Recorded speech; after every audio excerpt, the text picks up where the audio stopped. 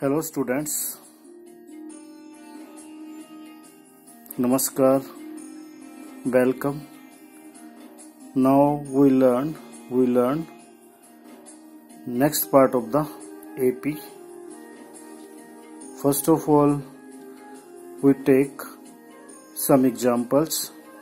We, we take some examples like this 1 2 3 4 and so on. 100 70 40 10 next is minus 3 minus 2 minus 1 and so on. Next one 3 3 3 and so on.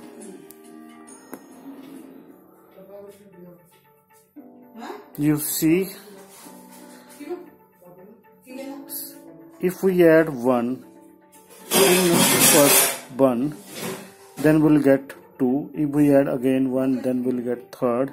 If we will add 1 then we will get 4 and so on. Every first term is called every first number is called term.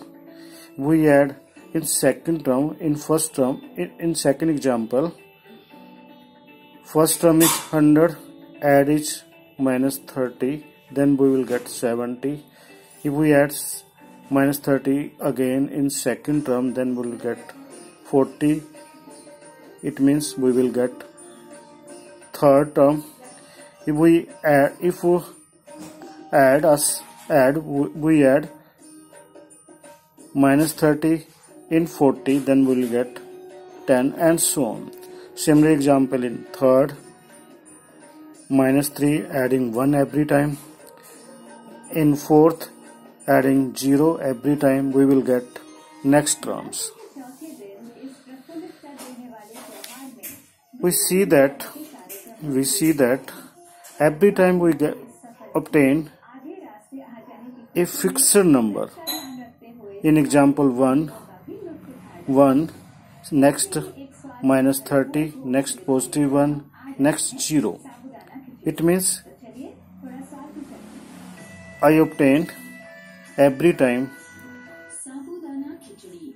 a fixed number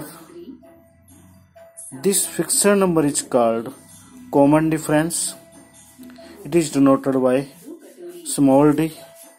So in first example fixed number it means small d positive 1 next minus 30 next plus 1 next 0 also we can say that a fixed number can be take any values any real values it means 0 negative positive rational irrational every it may it takes any values now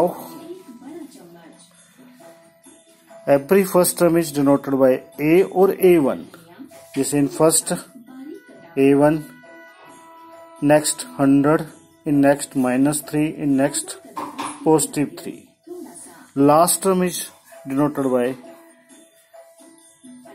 tn or an. I take another example. 2 6 10 14 14 18 22 and so on. Last term is 58 this last term is called nth term it is denoted by this type. By this type it means t capital T and an and also you see that students. In example 2 6 10 14 18 22 and so on. Age. First term is denoted by a. Here 2 common difference 6 minus 2 4 and it means second term can be written as a plus d third term can be written as a plus 2d third term and fourth term can be written as a plus 3d because if we write third term a plus 2d it means first term plus multi plus multiple plus multiply 2 by 2 with common difference d then we'll get third third This part can also be understood by this example. First term can be written as a a plus 0d. Second term a plus 1d. Third term a plus 2d and so on. You see nth term can be written as a plus n minus 1 into d. Because every term less than 1 for example a a plus 0d a to a plus 1d in this way we can say that nth term tn a plus n minus 1 into d it is also called tn or an it is also denoted by small l thank you okay